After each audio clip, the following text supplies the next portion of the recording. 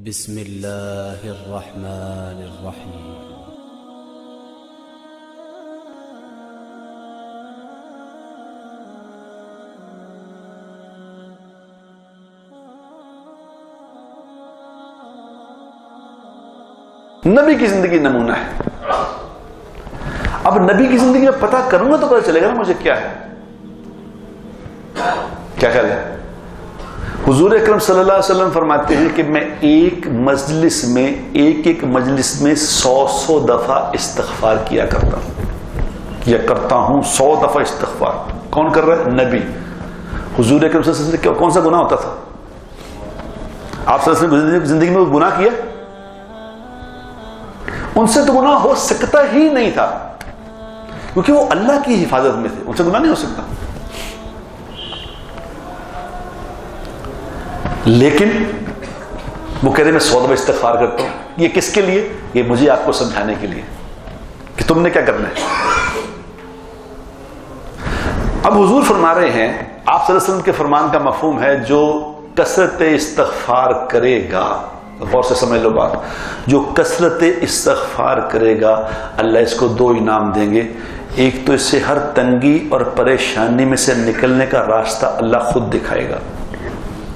जहाँ मसला फंसेगा, इसका अल्लाह खुद समझाएगा नंबर वन नंबर टू इसको रोजी वहाँ से मिलेगी जहाँ इसका गुमान भी नहीं जाता। वहाँ से रोजी आएगी। आज अपने ईमान से आप लोग बताओ, हम परेशान किस बात से हैं? हर दूसरा आदमी रोजी से परेशान है कि नहीं? किसी की पूरी नहीं पड़ रही, वो कहता थोड़े पैसे हैं, कोई आ नहीं रहा, जा। एक आदमी को, एक आदमी ने मुझे कहा कि जी, मैं इस्तफार जब से आपने कहा, मैं इस्तफार भी करता हूँ, मगर हालात नहीं ठीक हो रहे। हालात तो ठीक हो नहीं रहे। आप कहते कसरत इस्तफार में तो रोजी आसमान से आएगी, वो तो नहीं ठीक हो रहे। तो मैंने मैंने इससे कहा, मैं कहा, देखो, एक आदमी को कहो, यार, एक पानी का गिलास लेके आओ और साथ शहद लेके आओ। अब वो शहद लेके आया, पानी का गिलास लेके आया। आपने चार चम्मच शहद उस पानी के गिलास में मिलाया। और उसको जब पिया तो फीका ही था, कुछ भी नहीं मीठा। तो आप क्या करोगे? कि चार चम्मच शहद मिलाया है, पानी फीका ही है। ये पॉसिबल है? चार चम्मच शहद मिलाओ, शहद पानी तो मीठा हो जाएगा। तो ये मीठा नहीं हो तो क्या करोगे? कहते ये शहद चेक करूँगा शहद भी है कि नहीं? क्योंकि शहद अगर होता। अगर ये शहद होता तो पानी तो मीठा हो जाता। ये कुछ और है, देखो चेक करो इसको क्या है। मैंने कहा बस यही बात है। हुजूर अकरम सल्लल्लाहु अलैहि वसल्लम की बात गलत नहीं हो सकती। ये नहीं हो सकता। सूरज मगरब से निकल सकता है, लेकिन मेरे नबी की बात गलत नहीं हो सकती। ये नहीं हो सकता। नबी ने फरमाया है, कसरत इस्तफार पे रोजी का मसला हल होगा। तो जब नहीं हो रहा तो चेक करो क्या कर रहे हो। तुम चेक करो कर क्या रहे हो। कहते, जी, कैसे चेक करूँ? मैंने कहा अच्छा अब और मिसाल से समझ लो। मैं कहा, एक आदमी, मुझे याद है, अमेरिका ने ना, एक कोई ईरान का तैयारा था या किसी मलेशिया का तैयारा था, उस तैयारे को फायर कर दिया। उसमें दो सौ तिरपन मुसाफिर थे वो सारे मर गए, तैयारा याद है आपको? वो मर गए। और जब त्यारा भी तबाह हो गया दो सौ तिरपन लोग भी मर गए। अब जहाँ एहतजाज हुआ तो मुझे, मुझे याद है उन पता नहीं बहुत छोटा था। वो, वो किसी उस अमेरिका ने एक कौन सदर था मुझे नहीं याद। उसने कहा कि बस सॉरी कर तो लिया अब क्या करें? खत्म बात। हमने सॉरी कर लिया। एक होता है ये वाला सॉरी करना। कि बस सॉरी ठीक है सॉरी। अब अल्लाह से सॉरी करना इस्तफार क्या है कि अल्लाह से माफ़ी मांगना? किस बात की अल्लाह ने? मैं गुनाकार हूँ अब अल्लाह को यह कहना कि माफ़ कर देंगे। अस्तफरुल्लाह अस्तफरुल्लाह अस्तफरुल्लाह बस। न दिल साथ है, न दिमाग साथ है। ना मुझे इस बात का इकरार है, मैं कोई मुजरिम हूँ, मैंने गलती की है, कोई कसूरवार हूँ। ऐसे कर, माफ़ कर दे, माफ़ कर दे। यानी अल्लाह से इतना कैजुअल बात कर रहे हो। कोई माफ़ करें जी, आप ठीक है। जैसे अमेरिका ने सॉरी की, इस तरह इस तरह की सॉरी कर रहे वो तो अपने दिल में ये कैफियत पैदा करो कि अल्लाह, मैं तो वाकई कसूरवार हूँ।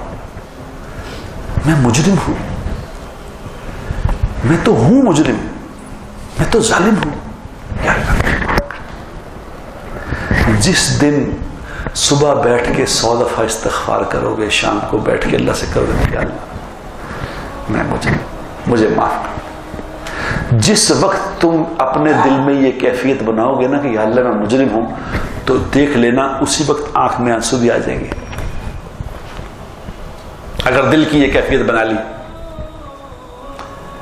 दुनिया में चीज़ें सीखने के लिए बड़ी मेहनत करते हैं। इस्तफार भी करनी नहीं आती करते, कैसे?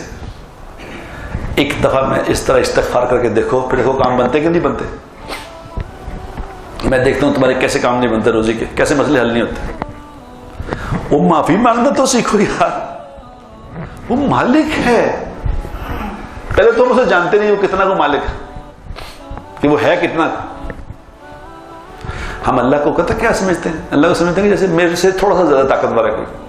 जैसे मेरी ताकत थोड़ा सा ज़्यादा।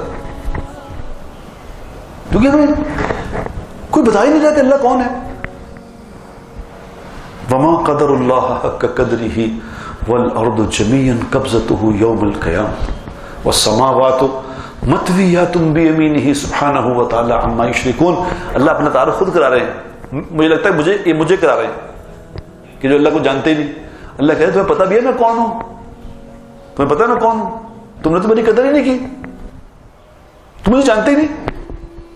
मैं वो हूँ बस समा मतवी तुम भी कि जिसकी दाहिनी कलाई पे सातों जमीनें लिपटी हुई होंगी, जिसकी मुट्ठी में सातों आसमान होंगे। अब बताओ, सात आसमान मुट्ठी में होंगे अल्लाह क्या मुट्ठी है अल्लाह कलाई क्या इस पर जमीनें लिपटी हुई होंगी? कलाई मेरे वाली कलाई नहीं है, अल्लाह ही जानता है कौन सी कलाई है, मुट्ठी ये वाली नहीं है, अल्लाह जानता है कौन लेकिन अल्लाह अपनी ताकत बता रहा है, मैं कौन हूँ? ये ताकत वाला कह रहा है कि मेरे सामने नदामत के आँसू बहाने सीख लो। अल्लाह को आँसू नहीं है कि हमारे सामने जिसमें जिसमें रूह तो है ही नहीं। किसी अमल की रूह हमारे सामने नहीं है मेरे भाइयों। तब तो असर नहीं होता। और कहते सलातुल हाजत पड़ी देगी काम तो होता ही नहीं। सलातुल तो पड़ी है, काम नहीं होता।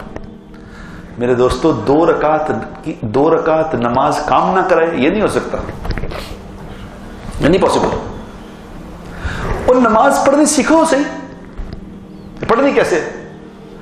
इस इस्तफार से रोजी का मसला हल ना हो, ये नहीं हो सकता, भाइयों। ये नहीं हो सकता। तुमने सीखी नहीं इस तरह। इसको सीख लो तो फिर मसले हल होते देखना कैसे होते हैं।